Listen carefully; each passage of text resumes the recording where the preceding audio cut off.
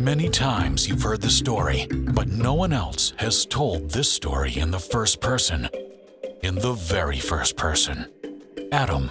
He is quite pleased with his position as the sole keeper of the pastures of heaven, and then she comes into his life, Eve. She brings along dozens of witty twists and turns of life. Very soon, he will know love, responsibility, and other problems. Cinebooks presents the story of the very first relationship on Earth by the author who could turn everything into a good joke. Adam's Diary by Mark Twain. Experience an exclusive adaptation of a touching and psychological story of men and women relationship in a unique Cinebook format. Read it with marvelous illustrations. Listen to it as an audiobook or even watch it as a photo illustrated slideshow.